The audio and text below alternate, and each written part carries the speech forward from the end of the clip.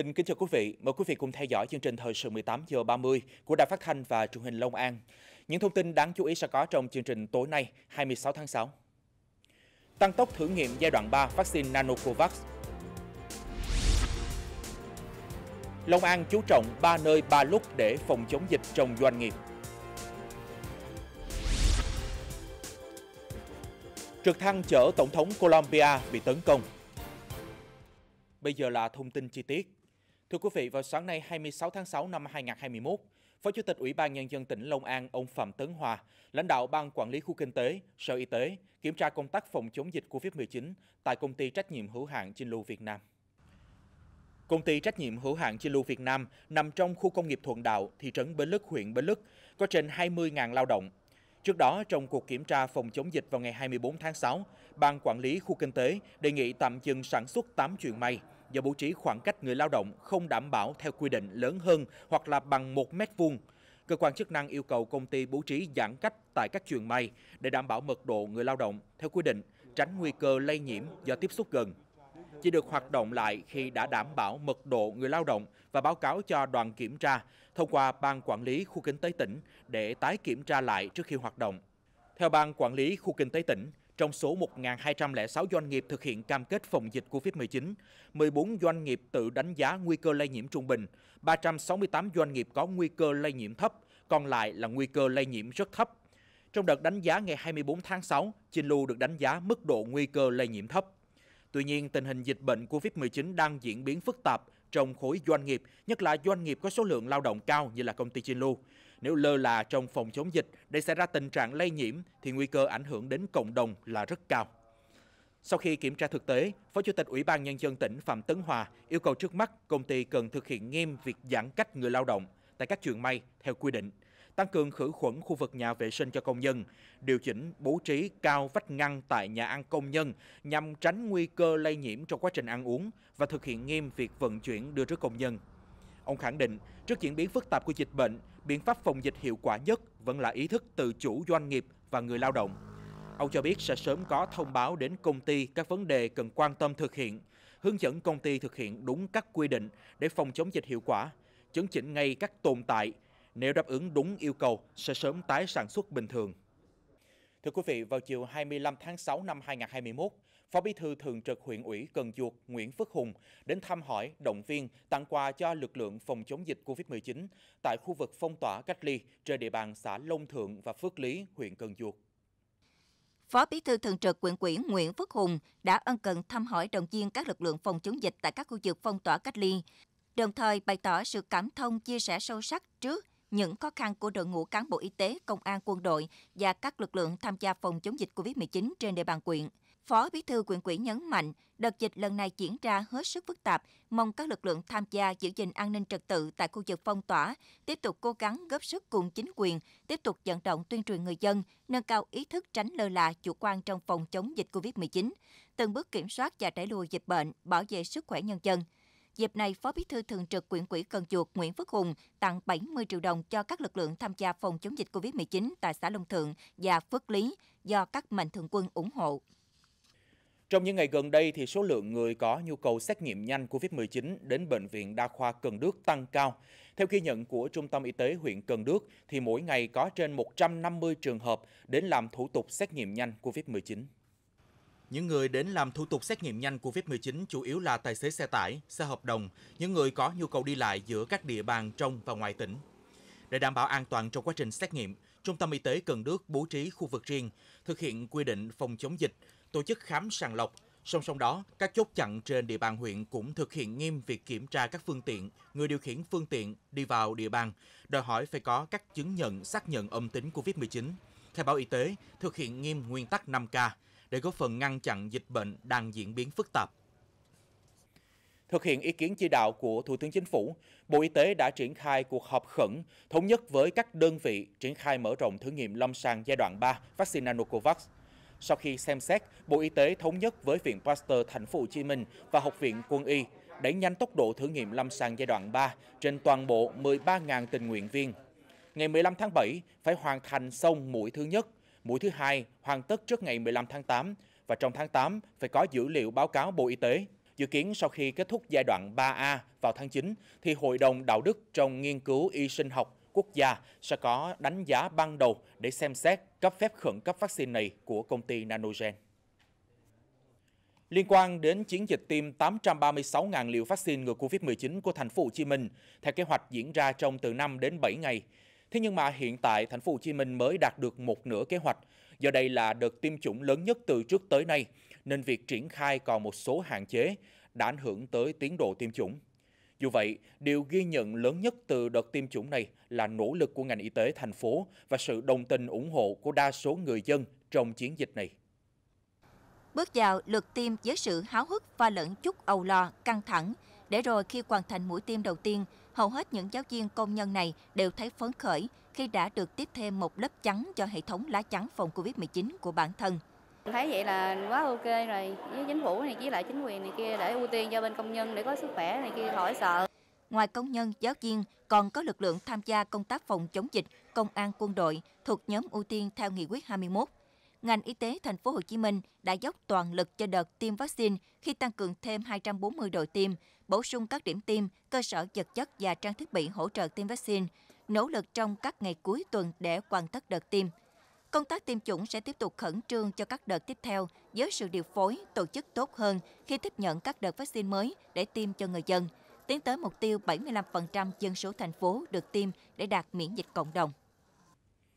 Thưa quý vị, đại dịch Covid-19 đã và đang ảnh hưởng không nhỏ tới đời sống xã hội nói chung và việc làm của công nhân nói riêng, khi mà nhiều doanh nghiệp phải thu hẹp sản xuất.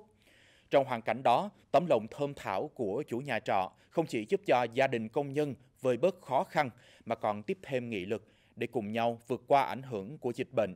nhất là khi mà người lao động phải thực hiện cách ly y tế tại phòng trọ. Hổm rồi con bệnh cách ly rồi tình hình ổn không? Sức khỏe rồi dạ. đảm bảo không? Dạ sức khỏe bình thường không có gì bác ơi. Mẹ con cũng ờ, khỏe hả? Dạ, Bữa, uống thuốc rồi cũng khỏe rồi phải không? Dạ dạ. Ừ, thì thôi nói chung là tình hình nó vậy con ráng cách ly cho hết ngày cho đảm bảo không?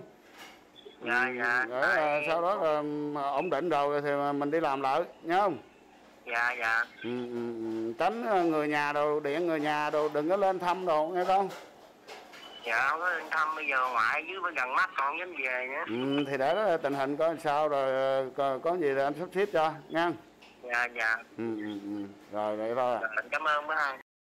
đây là trường hợp đầu tiên thực hiện cách ly y tế tại nhà trọ của ông Trần Văn Sanh, xã Đức Hòa Đông, huyện Đức Hòa. Một thành viên trong phòng trọ này là công nhân của công ty trên địa bàn huyện và đang là F1, đã được cách ly tập trung ở Mộc Quá. Bốn người còn lại trong gia đình là F2 thực hiện cách ly y tế tại phòng trọ. Hôm Đó là ngày 9 tháng 6 năm 2021 thì ờ, tôi ờ, chủ nhà trọ ở đây thì được cái thông tin từ trung tâm y tế của xã Đức Hòa Đông là báo ờ, trên địa bàn có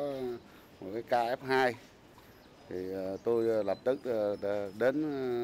phòng trọ đó và làm công tác tư tưởng. Thứ nhất là mình thông báo cho người ta biết. À, cái thứ hai là tôi sẽ làm công tác tư tưởng những cái phòng trọ kế bên để tránh cái sự mà mà nó nó, nó quan mang nó dao động gây cái dư luận xấu. Rồi sau đó chúng tôi cũng có cái kế hoạch là nói cái chủ phòng trọ mà cách ly đó F2 đó đó. Thì không được đi ra ngoài tiếp xúc với nhiều người rồi ờ, vận động người thân không được tới thăm viếng rồi này kia. Thì nói chung là hộ đó người ta cũng chấp hành. Ngoài việc thăm hỏi sức khỏe, giảm tiền trọ, mấy ngày qua, đối với nhu cầu sinh hoạt thiết yếu, ông Sanh còn trực tiếp trao đổi qua điện thoại để kịp thời hỗ trợ cho gia đình an tâm thực hiện quy định cách ly ngay tại phòng trọ. Các chủ nhà trọ là đã thực hiện là hỗ trợ cùng với trạm y tế. Thứ nhất là về à, tiếp nhận tiếp nhận là những cái người về ở trọ của mình thì sẽ tác động tư tưởng để cho mọi người yên tâm trong thời gian cách ly. Cái thứ hai là mình sẽ hỗ trợ về cái nhu yếu phẩm. Thứ nhất là giống như là mình có thể là hỗ trợ là đi chợ hàng ngày để cho các bạn yên tâm là trong thời gian cách ly. Và cái thứ hai là có thể là à, hỗ trợ thêm là gạo mì. Và cái thứ ba là có vận động thêm là sẽ giảm cái tiền trọ cho các bạn trong thời gian các bạn à, cách ly để các bạn có thể là yên tâm à, cách ly tại nhà trong 14 ngày. Thật ra thì các mùa dịch trước thì khác nhưng mà đối với cái mùa dịch thứ tư này xảy ra trên địa bàn hay tất cả các à, địa phương à, thì cảm thấy là mọi người rất rất là à, đoàn kết là thứ nhất là đoàn kết chung tay à, kể cả là tất cả các mọi người dân luôn chứ không phải riêng về những phía khu chủ nhà trọ. Bản thân là công an xã Đức Hòa Đông phụ trách địa bàn ấp 5 nên ông Trần Văn Sanh quản lý nhà trọ rất nề nếp, trật tự. Giải nhà trọ có 10 phòng với gần 30 người thuê ở, chủ yếu từ các tỉnh miền Tây lên làm việc tại các doanh nghiệp trên địa bàn. Dịch bệnh tái bùng phát khiến đời sống công nhân càng khó khăn hơn. Dù vậy, cách ly nhưng không cách lòng. Tinh thần chung tay vì cộng đồng của chủ nhà trọ ở thời điểm này thật đáng trân trọng. Trước những diễn biến phức tạp của dịch bệnh COVID-19 có nguy cơ lây nhiễm vào các công ty, xí nghiệp, doanh nghiệp trên địa bàn, Ủy ban Nhân dân tỉnh vừa có văn bản số 5948 về việc tăng cường thực hiện các biện pháp phòng chống dịch COVID-19 tại đơn vị này. Theo đó, tùy vào điều kiện thực tế của từng khu cụm công nghiệp, từng công ty, nhà máy, xí nghiệp để xây dựng kế hoạch đảm bảo nơi cách ly y tế tối thiểu từ 30 đến 50% số lượng công nhân lao động hiện có và nơi tổ chức lấy mẫu xét nghiệm lấy tổ chức sản xuất, nhóm sản xuất ở phân xưởng, nhà máy làm gốc của tất cả các giải pháp phòng chống dịch ở các doanh nghiệp, khu cụm công nghiệp. Trong đó, quyết liệt thực hiện công tác phòng chống dịch, chú trọng ba nơi, ba lúc, có nguy cơ lây nhiễm cao nhất. một Lúc ăn, nơi ăn. hai Lúc đi vệ sinh, nơi đi vệ sinh. Và ba Lúc đi xe, không gian ngồi trên xe. Đồng thời thực hiện hiệu quả nguyên tắc 8 giờ vàng trong truy vết, khoanh vùng, phong tỏa, thực hiện đúng quy định cách ly tại nhà, nơi cư trú, thực hiện một số giải pháp phòng chống dịch, ra soát, lập danh sách toàn bộ công nhân lao động đang làm việc tại công ty, doanh nghiệp và gửi danh sách về cơ quan quản lý trực tiếp. Trong danh sách phải thể hiện rõ đầy đủ những thông tin cơ bản như sau. Họ và tên đầy đủ, địa chỉ cư trú, tạm trú, số điện thoại liên lạc, làm việc tại truyền, phân xưởng nào. Ngoài ra, phải phân công người có thẩm quyền của công ty, doanh nghiệp làm đầu mối giữ mối liên hệ thường xuyên với cơ quan quản lý nhà nước và chính quyền địa phương trong việc sắp xếp lại sản xuất và triển khai thực hiện các biện pháp phòng chống dịch theo quy định. Thưa quý vị, thực hiện chỉ đạo của Ủy ban Nhân dân tỉnh về việc hạn chế tập trung đông người, chỉ ra ngoài khi thực sự cần thiết để phòng chống dịch bệnh COVID-19. Tùy theo đặc thù và tính chất công việc, thời gian qua, nhiều cơ quan đơn vị có đông người đã chủ động bố trí, phân chia công chức viên chức làm việc tại nhà, để bảo vệ sự an toàn, sức khỏe người lao động, hạn chế sự lây lan dịch bệnh trong cộng đồng. Trước những lo ngại về dịch bệnh đang diễn biến phức tạp, trong khi đó đơn vị có rất đông người làm việc, nên khoảng 2 tuần nay, anh Nguyễn Hoàng Quy, viên chức của Ban Quản lý Dự án Đầu tư xây dựng quyền cư dụ, đã được bố trí làm việc online tại nhà, nhưng vẫn đảm bảo kết nối thông suốt với công việc tại đơn vị. Tại vì cơ quan của tôi thì đông nên là việc ờ, chia làm việc tại nhà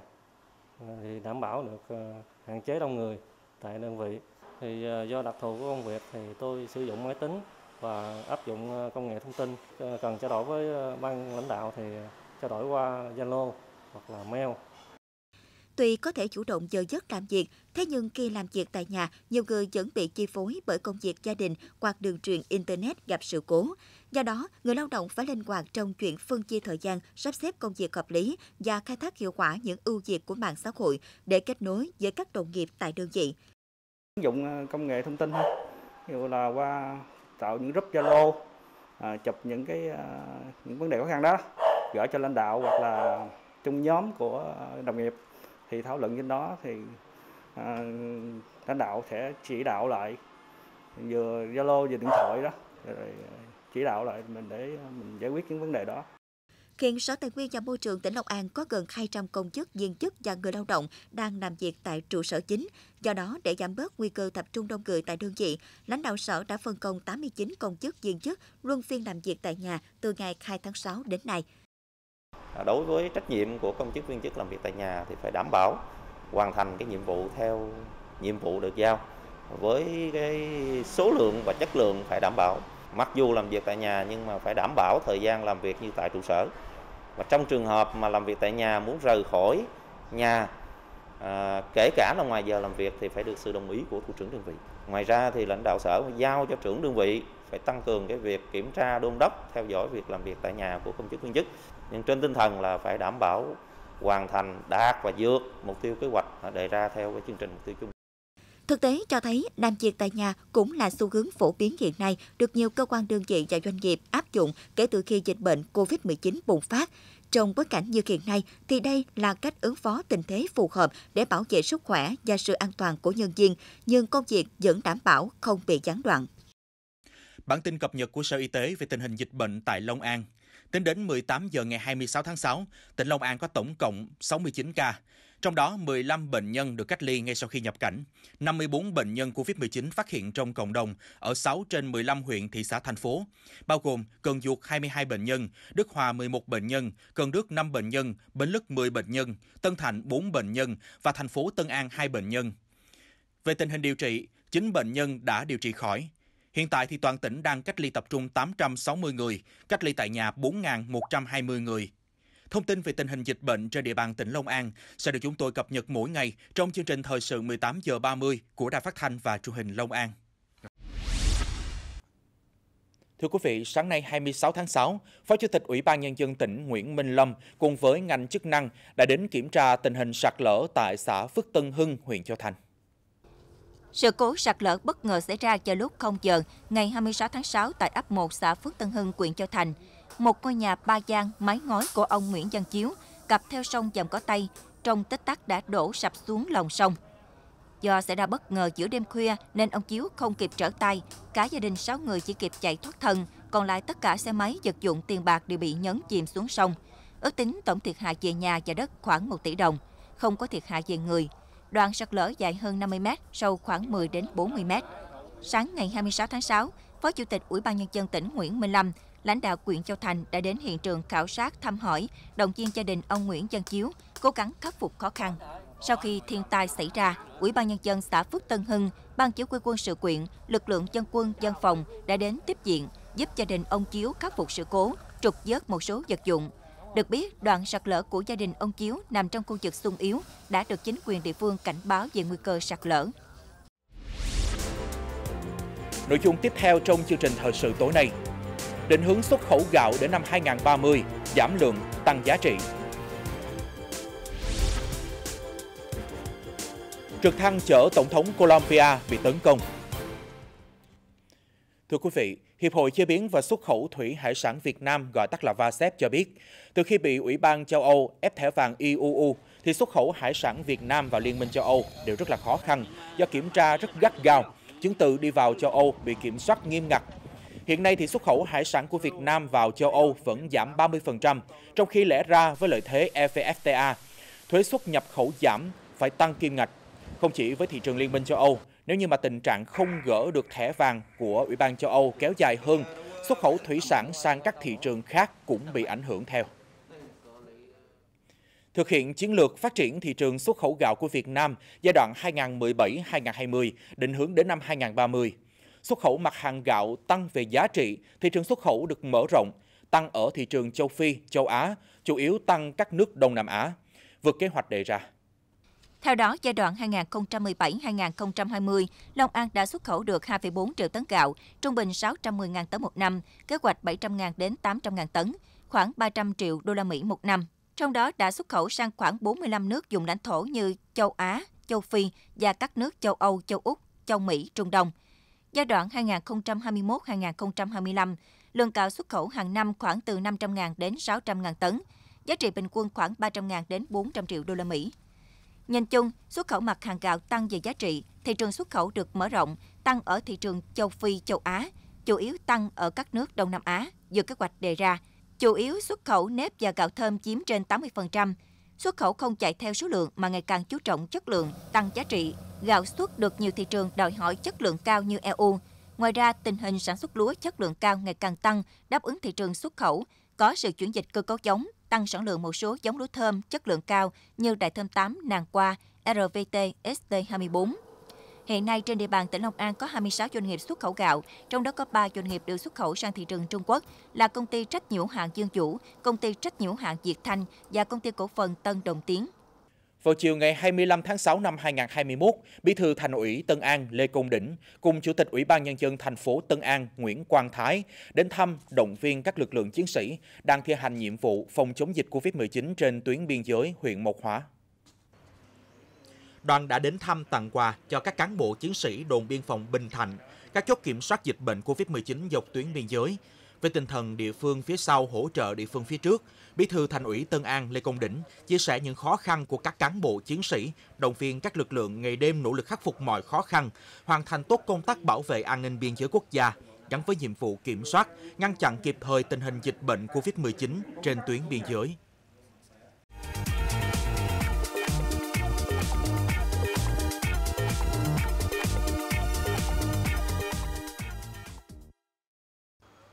Bộ Tài chính vừa ban hành thông tư hướng dẫn giảm 30 loại phí, lệ phí để tháo gỡ khó khăn cho nhiều đối tượng do tác động tiêu cực của đại dịch Covid-19. Trong đó, 29 khoản phí lệ phí đã giảm trong năm 2020 và 6 tháng đầu năm 2021, bổ sung giảm thêm mức thu một khoản phí trong lĩnh vực nông nghiệp. Thời gian giảm phí lệ phí áp dụng kể từ ngày 1 tháng 7 năm 2021 đến hết ngày 31 tháng 12 năm 2021, với số giảm thu từ phí lệ phí 6 tháng ước khoảng 1.000 tỷ đồng.